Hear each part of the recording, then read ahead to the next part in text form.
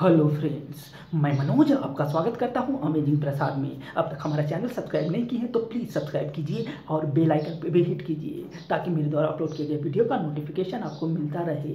दोस्तों, आज हम जानेंगे सूर्य का प्रकाश पीला क्यों दिखाई देता है? अर्थात हमें दोपहर में सूर्य का प्रकाश पीला क्यों दिखाई देता है? सूर्य हमारे सौरमंडल का सबसे बड़ा तारा है। आपने देखा ही होगा कि सूर्य पूरे दिन में कई रंग बदलता है। जैसे कि सुबह और शाम के समय सूर्य लाल दिखाई देता है और दोपहर के समय पीला दिखाई देता है। तो यह बात आपके दिमाग में ज़रूर आई होगी कि सूर्य दोपहर के समय पीला क्यों दिखाई देता है। चलिए दोस्तों, आइए जानते हैं। दरअसल, सूर्य हमें पीला हमारे वायुमंडल के कारण दिखाई देता है। हमारे पृथ्वी पर जो प्रकाश पहुँचता है, वह प्रकाश छोटे छोटे कणों, यानी फोटान के रूप में पृथ्वी तक पहुँचता है। रोशनी में अरबों फोटान होते हैं।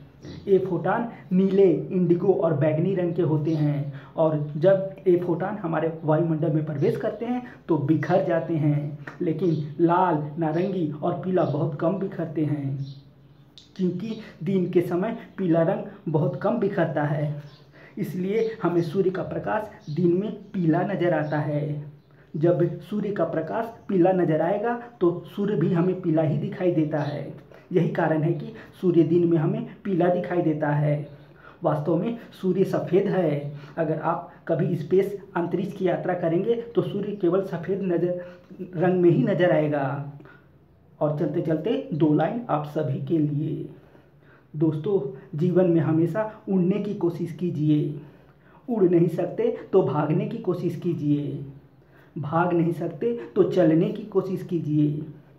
चल नहीं सकते तो सरकने की कोशिश कीजिए, क्योंकि सफलता उन्हीं के हाथ लगती है जो निरंतर आगे बढ़ने का प्रयत्न करते रहते हैं। अर्थात कुछ न कुछ सीखने की जिज्ञासा हमेशा अपने अंदर जगाए रखते हैं और वह कुछ न कुछ सीखने के लिए हमेशा प्रयत्नशील रहते हैं। उम्मीद करता हूँ यह जानकारी आपको पसंद आई होगी। अगर यह जानकारी आपको पसंद आती है तो हमारा चैनल लाइक, शेयर और सब्सक्राइब कीजिए। और हाँ दोस्तों, इस वीडियो के बारे में आपका क्या क्या विचार है? कमेंट करके ज़रूर बताइएगा। इस टॉपिक में बस इतना ही। फिर मिलेंगे अगले टॉपिक में। तब तक लिए bye bye. Take care of you.